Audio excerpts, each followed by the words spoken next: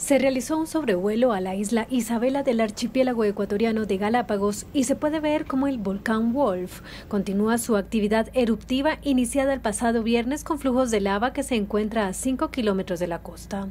El ministro de Ambiente, Agua y Transición Ecológica, Gustavo Manrique, dijo que la dirección que han tomado los flujos de lava y el desarrollo general de la erupción permite señalar que la población de iguana rosada se mantiene fuera de peligro.